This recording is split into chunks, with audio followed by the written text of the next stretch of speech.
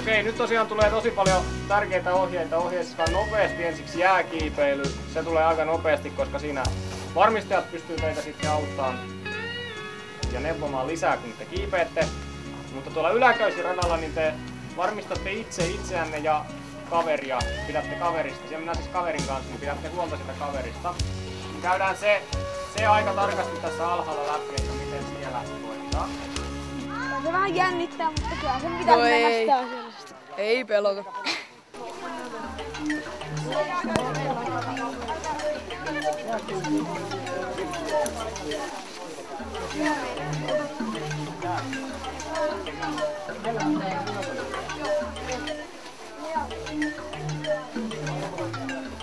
Jalka. Jalka pitäisi olla siellä.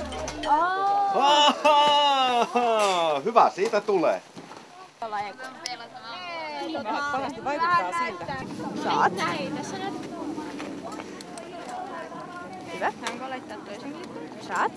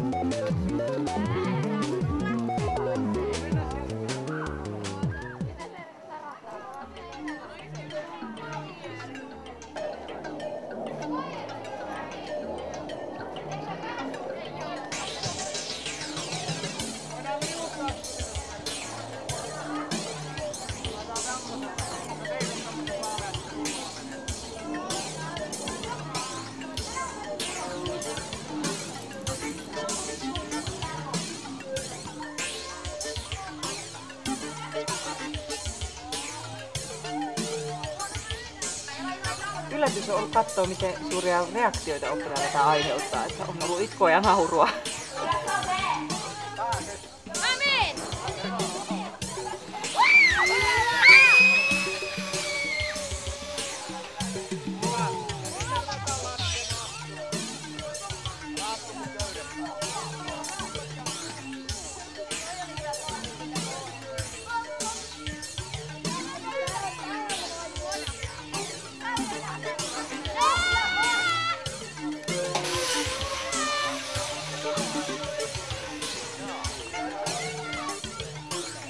Joo, se oli vähän pelottavaa se hetki siitä, kun se ensimmäistä kertaa hyppää tyhjän päälle. Sitten kun se lähtee liukumaan, niin sitten se menee ihan hyvin. Mutta alku oli ihan kauhea. Hui, tärisyttää. En uskonut, että mä tärisyttää.